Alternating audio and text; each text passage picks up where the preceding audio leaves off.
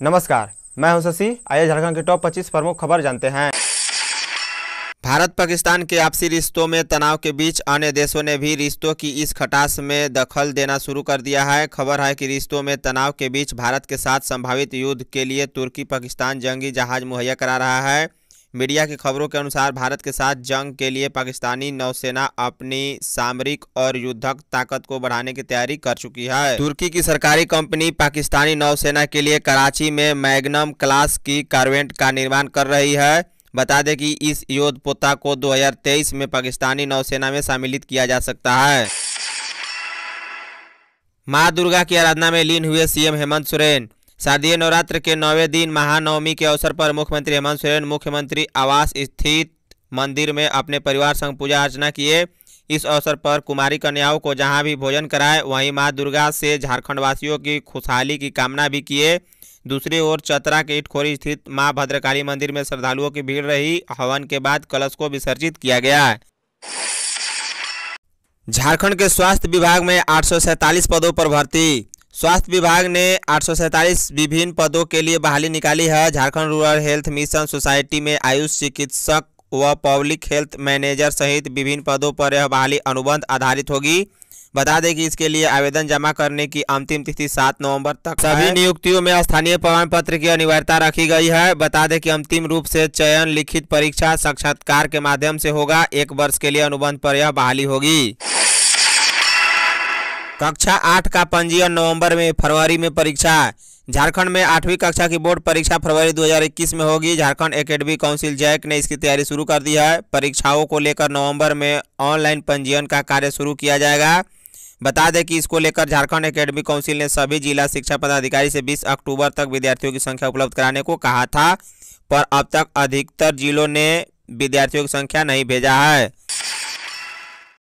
प्याज की कीमत में तेज़ी स्टॉक लिमिट तय प्याज की कीमतों में आई तेज़ी ने आम लोगों के होश उड़ा दिए हैं। राज्य में प्याज सत्तर रुपये प्रति किलो तक बिक रहा है। हालाँकि जमाखोरी पर रोक लगाने के लिए केंद्र सरकार द्वारा थोक व्यापारियों के लिए 25 टन और खुदरा व्यापारियों के लिए दो टन प्याज का स्टॉक लिमिट तय कर दिया है। उधर थोक व्यापारी प्याज की कीमत और बढ़ने की संभावना जता रहे हैं। उनका कहना है कि किसी भी चीज़ की आवक कम होने पर स्वतः कीमतें बढ़ने लगेंगी। थोक व्यापारियों का साफ़ कहना है कि प्याज पर स्टॉक लिमिट तय नहीं की जाए। मूर्ति विसर्जन के 48 घंटे में जल स्रोत से प्रतिमा बाहर निकालेगा निगम। दुर्गा पूजा पर होने वाली मूर्ति विसर्जन को लेकर केंद्रीय प्रदूषण नियंत्रण बोर्ड ने नई गाइडलाइन जारी कर दी है। नगर निगम को भी पत्र भेजकर इस दिशा निर्देश का पालन कराने को कहा गया है। इसमें कहा गया है कि देवी देवताओं की मूर्तियों के विसर्जन के लिए जल स्रोत के एक कोने पर जलकुंड बनाया जाए। इस जल कुंड को लाल फीता और बाँस से घेरा जाए। मूर्तियों के विसर्जन के 48 घंटे के अंदर मूर्तियों को जल स्रोत से निकालने का निर्देश दिया गया है। रांची से गुमला पिकनिक मनाने गए तीन बच्चे नदी में बहे एक की मौत। महानवमी पर गुमला में एक दुखद घटना हुई है। नदी की तेज धार में बहने से एक बच्चे की मौत हो गई। बता दें कि अन्य दो लापता हैं। हालाँकि बाद में एक अन्य बच्चों को खोज निकाला गया है। बताया गया है कि रांची के नामकुम से गुमला जिला के बसिया प्रखंड के पर्यटन स्थल में रविवार को एक परिवार पिकनिक मनाने आए थे। यहाँ परिवार के तीन बच्चे नहाने के लिए दक्षिणी कोयल नदी गए थे। नहाने के दौरान तीनों नदी की तेज धार में बह गए। आज 26 अक्टूबर को ड्राई डे। पूरे झारखंड में बंद रहेंगी शराब की दुकानें।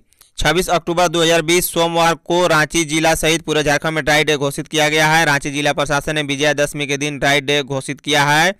बता दें कि आज रांची जिला और झारखंड के सभी जगहों पर सभी शराब की दुकानें बंद रहेंगी।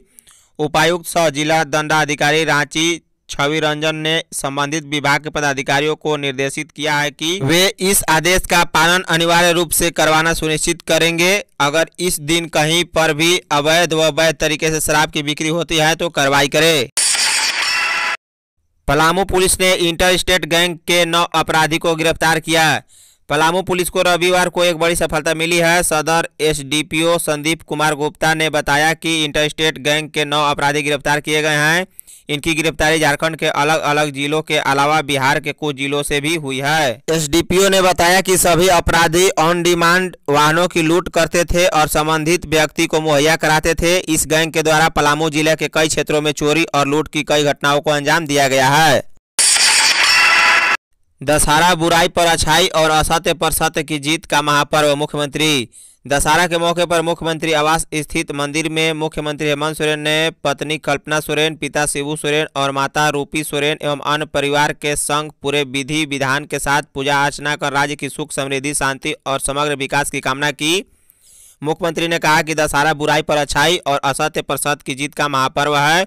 माँ दुर्गा हर किसी की मनोकामना पूरी करती है। झारखंड में दो सौ अंठावन नए संक्रमितों की पुष्टि हुई।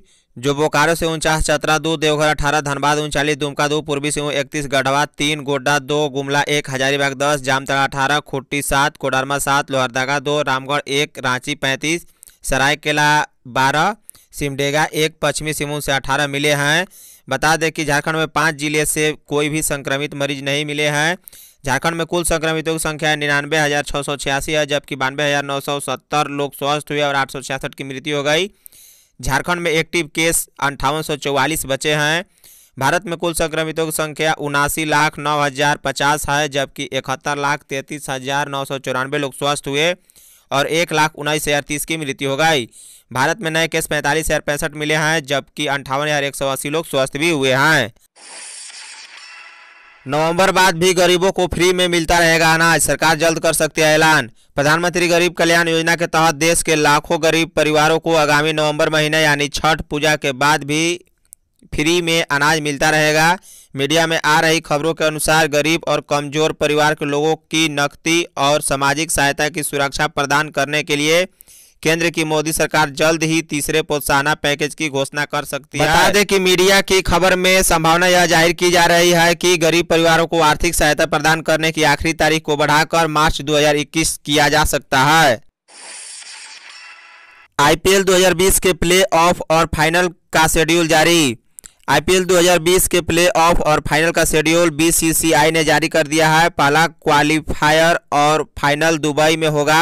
जबकि बाकी दो play off match Abu Dhabi खेला जाएगा। भारतीय क्रिकेट बोर्ड ने रविवार को इसका ऐलान किया है। बता दें कि क्वालिफायर वन शीर्ष दो टीमों के बीच होगा, जो पाँच नवंबर को खेला जाएगा, जबकि फाइनल दस नवंबर को होगा। राज्यसभा सांसद महेश के सहयोग से रांची में पैराडाइज ने की सिलाई सेंटर की स्थापना। आत्मनिर्भर एवं स्वावलंबन के मकसद को पूरा करने के मद्देनजर रविवार को पैराडाइज संस्थान द्वारा झारखंड की रांची की पुरुलिया रोड स्थित सेवाधाम जोनहा में महिलाओं के लिए सिलाई प्रशिक्षण केंद्र की स्थापना की गई। बता दें कि इस प्रशिक्षण केंद्र में महिलाओं के रहने की भी व्यवस्था की गई है ताकि दूर दराज से आने वाली महिलाएँ यहाँ कुछ दिन रहकर सिलाई का उचित प्रशिक्षण ले सकें। इसके साथ ही राज्यसभा सांसद महेश पोदार के सहयोग से पहले से सिलाई का प्रशिक्षण प्राप्त कर चुकी महिलाओं को सिलाई मशीन भी वितरित की गई। रांची विश्वविद्यालय में 29 अक्टूबर से स्नातक फाइनल ईयर की परीक्षा शुरू होगी। बता दें कि परीक्षा के साथ साथ मूल्यांकन कार्य भी शुरू कर दिया जाएगा ताकि रिज़ल्ट जल्द जारी हो सके। जैक ने मदरसा, माध्यमा व इंटरमीडिएट वोकेशनल परीक्षा 2020 की तैयारी पूरी कर ली है। सभी जिला को आवश्यक परीक्षा सामग्री भेज दी गई है। बता दें कि तीनों परीक्षा 28 अक्टूबर से शुरू होगी। झारखंड में डिजिटल ट्रांजैक्शन और क्यूआर कोड सुविधा वाले पेमेंट करने वालों की संख्या करीब सैंतीस लाख से भी ज़्यादा पहुँच चुका है। सीएमपीडीआई में ऑनलाइन पेंटिंग व क्विज कंपटीशन 27 अक्टूबर से 2 नवंबर तक मनाया जाएगा, जिसमें रांची जिला के किसी भी स्कूल के छात्र जो कक्षा 8 से 12 तक के हो भाग ले सकते हैं। पूर्व केंद्रीय मंत्री दिलीप राय की सजा पर आज 26 अक्टूबर को आ सकता है फैसला। बता दें कि कोयला घोटाले मामले में दोषी ठहराए गए थे। धन्यवाद। यदि आप चैनल पर नए हो तो चैनल को सब्सक्राइब कर का बेल आइकन दबाइए, साथ ही साथ वीडियो को एक लाइक कर अपने दोस्तों के साथ शेयर करें। साथ ही साथ आप हमें अपना फीडबैक अवश्य दें। Thank you.